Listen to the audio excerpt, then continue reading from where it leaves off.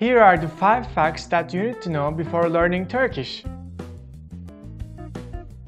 So the order of Turkish sentences are different than English sentences. The basic word order of an English sentence is subject, verb, object. But in Turkish, the word order is subject, object, and verb.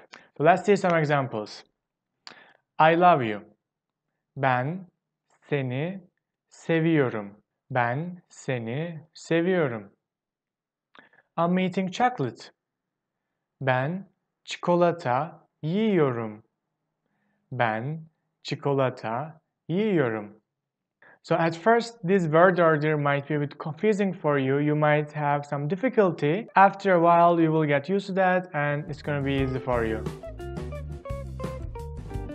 When learning Turkish, you don't have to worry about memorizing the genders of the nouns because Turkish nouns don't have genders. That's why learning vocabulary is a lot easier in Turkish than some languages like German. I remember I was learning German last year and it was quite hard for me to remember all the genders of the nouns and all the rules about the genders. So in Turkish you don't have such a problem. And another good news for you is that Turkish pronouns don't have genders either. So in English you say he, she, it, right? In Turkish, we just have one word for it, which is o. O. So, o can mean he, she, or it in a sentence. Turkish is an agglutinative language, which means that you're going to attach suffixes to make new words, to have new meanings in Turkish. Whereas in English, you add new words to make new sentences or to have new meanings. Let's see some examples. Okul school. Okulda, at the school. Okuldayım, I am at the school. So in English you say I am at the school with five words, but in Turkish it's just one word. Okuldayım. Okuldayım. Or kitap, book. Kitapçı, bookseller. Kitaplık, bookshelf. Because of this feature of Turkish, you can make pretty long words like this one. Avrupalılaştıramadıklarımızdan mısınız? Are you one of those that we couldn't Europeanize? But of course, we're not using that kind of words in daily life, don't worry. So Turkish is written as it is spoken. One letter in Turkish has only one sound and it never changes. So that means once you learn the sounds of the letters in Turkish, you will always be able to pronounce them as the same sounds that you learned in the first place. Whereas in English, the pronunciation of the letters can change sometimes, right? Let me give you some examples. So this is C.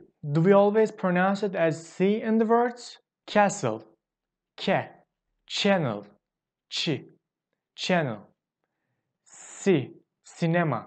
See, it always changes, but in Turkish, it never changes. This letter is J or its sound is J, J, and it's always pronounced as J. Let's see examples. Ceviz, can, cılız, ceviz, can, cılız. See, it's always the same sound. So after you learn the sounds of the letters in Turkish, the only thing that you need to do is to connect these sounds. For example, araba, a, r, r, b, b, araba, araba. Okay? It's very easy. In Turkish, you don't need to use subjects in a sentence because we have personal suffixes that we add, that we attach to the verb roots, and these suffixes indicate the subject. How? Let me give you an example. Ben gidiyorum. Ben gidiyorum. It means I'm going. Now, ben in Turkish means I. So it's the subject, right? But we don't need to use that because in gidiyorum, there's a personal suffix that we use to indicate the subject. That suffix is um. Gidiyorum by itself means I'm going. There's no need to use ben in the sentence. You are coming. Sen geliyorsun. Sen geliyorsun. So sen here means you. You, it's a subject. But we don't need to use that because when we say geliyorsun, it already means you are coming. You are coming. Because we have a personal suffix for you there. That's why you don't need to use subjects in Turkish.